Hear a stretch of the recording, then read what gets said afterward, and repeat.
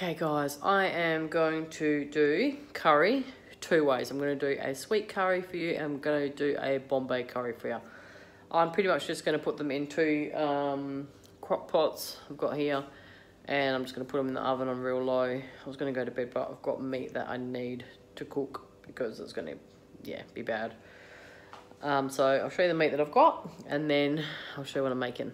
So the first curry I'm going to do is the sweet one and I've got some bananas here that I have frozen and they're pretty good. They're pretty good still, obviously. You can tell they're not, not that one's a little bit bruised, but I'm to put probably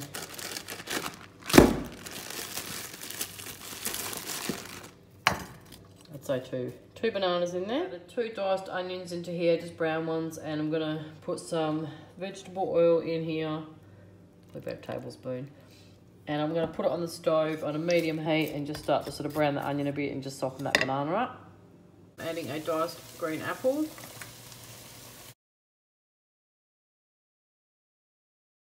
I am putting a tablespoon of mild curry powder, half a tablespoon of cumin, half a tablespoon of coriander, and a tablespoon of garam masala.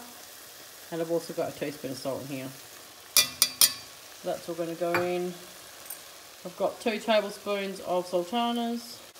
I'll tip those in. And I've got about a quarter of a cup of fruit chutney. So the sweet curry, I've just added about 800 grams of diced beef. This is the blade steak one. I'm just gonna give it a good stir until it sort of browns up a little bit. I'm going to add a can of diced tomatoes, one cup of beef stock, and then I've got this container of veggies that I'd cooked that I didn't use. Normally I just would put these veggies in this anyway. So they're already cooked. I'm just going to give that a good stir. And this will just be cooking in the oven on low. I'm going to cook it for a few hours and get that meat really nice and tender. I've also added two tablespoons of uh, crushed garlic to this as well. So for the Bombay curry, I am putting some olive oil in my big heavy base pan and I'm adding two diced brown onions. So I'm just going to get them going, soft, start softening them up as well. And I've got two separate resting spoons with, yeah, self-explanatory. So with the Bombay curry, you're just cooking the onion just to soften a little bit. You don't really want to brown it too much.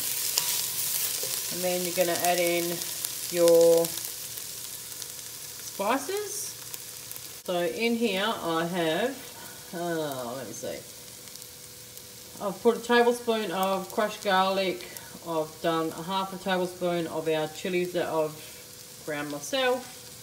I've got a tablespoon of grated um, well, it's supposed to be grated ginger, but I've just used my ginger out of the bottle because that's all I've got at the moment.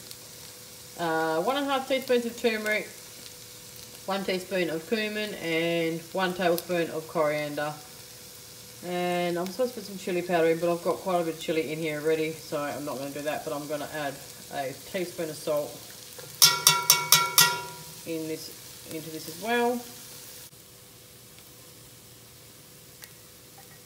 Bombay curry, we are gonna crank the heat up and we're gonna tip all the diced meat in here and we're gonna give it a good stir until they're all like brown.